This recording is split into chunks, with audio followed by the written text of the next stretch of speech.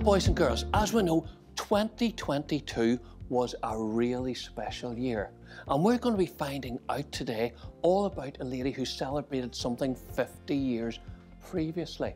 And she's uh, got a great connection with the school. She's in and out all the times, sometimes known as our golden girl. Can anybody suggest me, who do you think I'm talking about? Charlie, who do you think I'm talking about? Lady Mary Peters. Well done. And does anybody know anything about Lady... Yes, Charlie again? Oh, and I made a film of Lady Mary Peters for the school. You did indeed, all about gymnastics. And is there anything else we know? About? Yes, go on ahead there, Joel, please. And don't forget, she signed our wall in 2015. She was in here and she signed our wall. Lady Mary has visited our school many times over the years. She's even taught the nursery.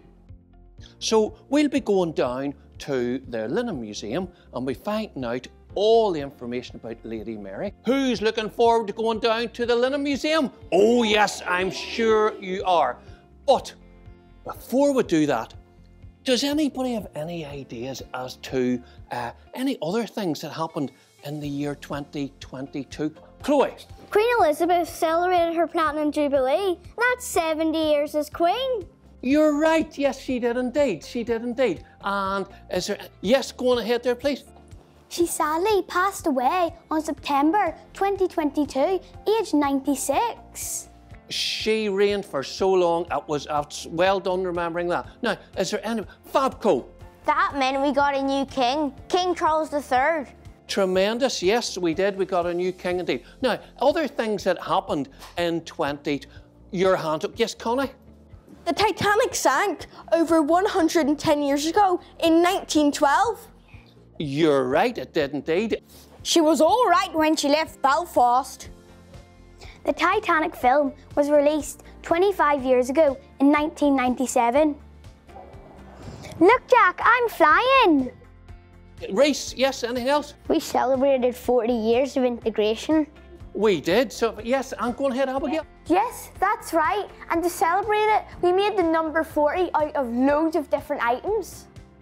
Our choir was invited to perform at a special 40 years of integrated education celebration in, in the Island Centre by the Lisburn and Castlereagh Mayor. The person who encouraged integration in Northern Ireland, Baroness May Blood, sadly passed away in 2022. Baroness Blood worked hard during the Troubles to help bring peace to Northern Ireland. Yes, and she also visited our school in 2015 to open the new entrance hall. Frank Carson, a famous Northern Irish comedian, died 10 years ago in 2012. Frank believed strongly in integrated education and he co-founded the Carson Awards with his son Tony in 2008. Tony continues to promote integrated education through the awards. It's the way he told them. Good. Lots of things about integrated education. Now, was there anything else that you can remember? Uh, go, go on ahead there about 2022. The BBC hit 100 years old last year. It started all the way back in 1922. For 100 years, the British Broadcasting Corporation has broadcast news, music, and sport on radio and TV and has brought many of our favourite TV programmes. My favourite is still CBeebies. Hi everyone at Fort Hill Integrated Primary, it's JC here from CBeebies and I'm actually really proud to say that I actually went to Fort Hill Integrated College and now I'm a presenter for the BBC. Bye! 100 years ago, in 1922, Howard Carter has discovered the mummy of Tutankhamun. I want my mummy. Here I am. Ah! 199 years ago, in 1822, William Barbour was preparing to open the Barbour Mill in Hilden. Opening in 1823, the mill employed 2,000 people. And, and maybe, maybe we'll take one more thing about 2022 before we get ready to go. Uh, Brody. The Premier League turned 30 years old in 2022. It did. Well remembered indeed. Now, what we're going to do is going to walk down to the Linen Museum and we're going to find out as much information as we can about Lady Mary Peters. So, is everybody ready to go? Yes! Right, let's go.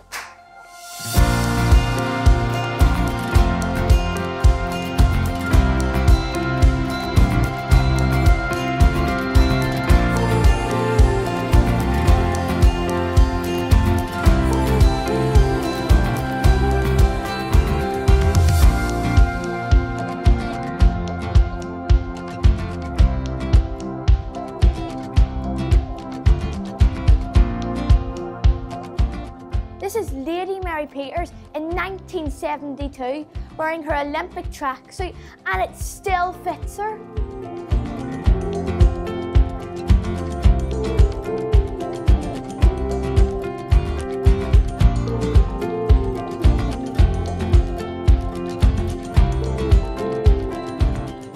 Look, this is the Olympic vest that Lady Mary Peters wore in the Olympics in 1972. Her number was 111.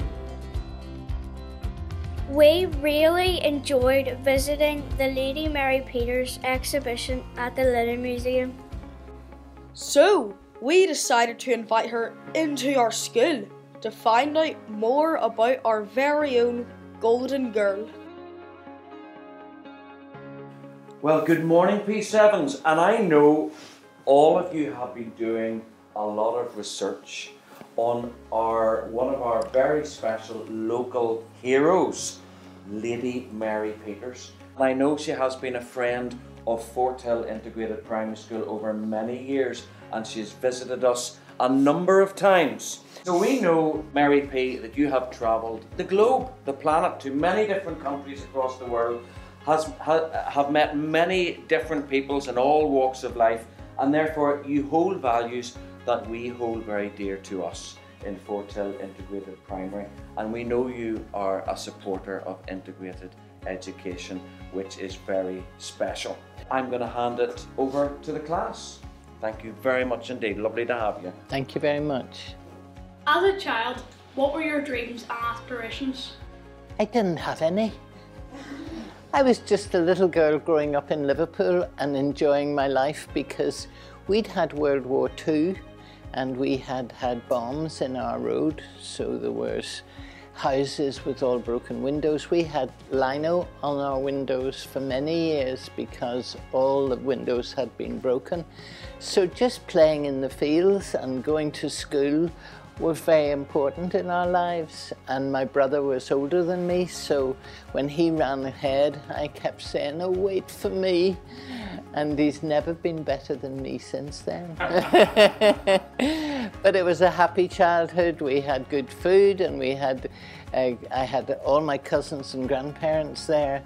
And then when I got to your age, I was sitting on the stairs one night and I heard my dad telling my mum that we were going to come and live in Ireland. That seemed like a world away. And I was very scared because I wouldn't know anybody and I was going to have to go to a new school as many as you of you have had to do. So it was a big change in my life, but I loved it. But that's when I had a dream to be an athlete because there was a little piece of land beside our house where the workman who had built the houses had his hut. And I made a long jump pit in that place. I'd never seen television in those days, didn't know what it was about really. I'd done it a little bit at primary school in England. And so I have no idea why I did that. At what age did you know you were going to dedicate your life to sport? Well, when I was 16 and moved by then to Portadown College, uh, the headmaster saw me playing cricket very badly one day and he said, you're wasting your time here. And he took me to where there was a former pupil coaching the boys and I joined in and the coach recognized that I had some talent that he could see and uh, started coaching me. So it was never dedicated, it was always a hobby. I just enjoyed going out after school and, and training. And um, because I became better and better at each of the events I was trying, he introduced me to a pentathlon, which is the hurdles, the high jump, the long jump, the shot put, and the 200 metres. And I'd never done the hurdles or the shot put before, so I had to learn those two new skills. And they became my strongest events. Who inspired you to become an athlete? Probably my parents and my brother were my first inspiration, but also this athletic coach. And then because in school uh, we used to have an assembly every morning, and the headmaster used to say, Well, Mary Peters was competing in Belfast at the weekend, and she was second in the 100 yards, and she was third in the high jump. And I felt very proud to have my name mentioned. So that was an encouragement to me. What do you think would be the best way to celebrate all the sporting history of Northern Ireland? Oh, you know what I would like, don't you? You've been down to the museum in Lisburn. My ultimate aim before I pass away is that we will have a sports museum to celebrate all the people in Northern Ireland who have succeeded in sport, to inspire the new generation of young people to get involved.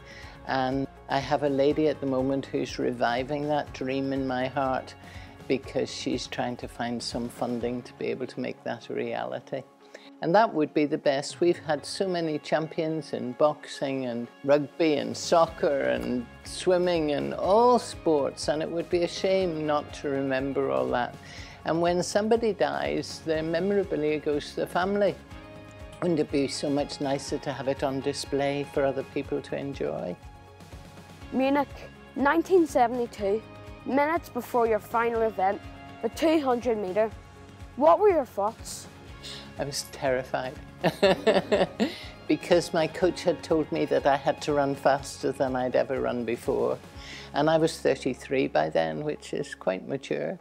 And um, I knew that the girl that was closest in points in the pentathlon was a very fast runner because she was in the German relay team.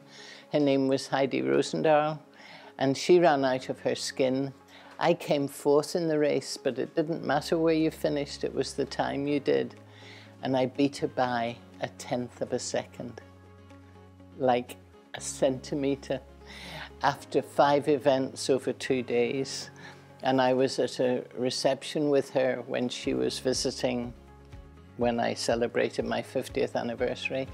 And the journalist said to her, Have you ever forgiven Mary for beating you? And she went, No. Charlie has a copy of my medal to show people. But this was the first Summer Olympic gold medal. And we were going through the troubles at that time where people were being killed and buildings being bombed. So it was very nice to have the opportunity to show off an Olympic gold medal and I brought it on the back of a lorry down Royal Avenue to the Lord Mayor uh, who was Alderman Christie and I said, I went for gold, I won gold and I brought it home for you. And I've been sharing it ever since for 50 years. what was your favourite event in the pentathlon? I liked the hurdles because it was the first event and also because if you're running on the track, people watch. If you're way down at the other end of the field putting the shot or at that end doing the high jump, people don't watch. They like to watch what's going on in the track. So it's attracted attention and made me run harder because I knew that people were watching. How many pentathlons have you taken part in? I have a world record for having done 42. They don't do them anymore because they now do the heptathlon, which is two more events. So that record will stand probably forever. And I also hold the world record for the pentathlon because after I won mine, they changed the event. Who is the most famous person you've ever met? Oh my goodness. Um, well, obviously, Her Majesty the Queen and now the King.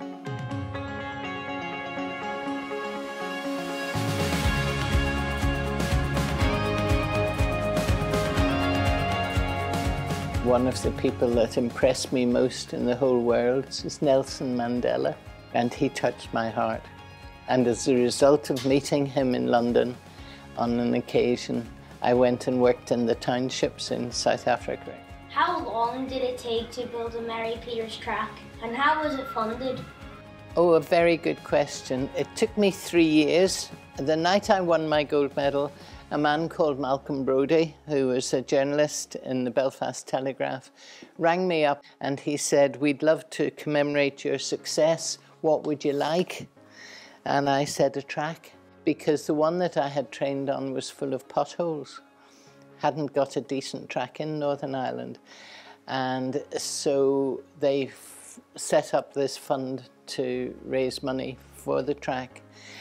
And uh, when I came home, I came home on a Friday. I was celebrating all day that day and over the weekend and was back at work on Monday morning.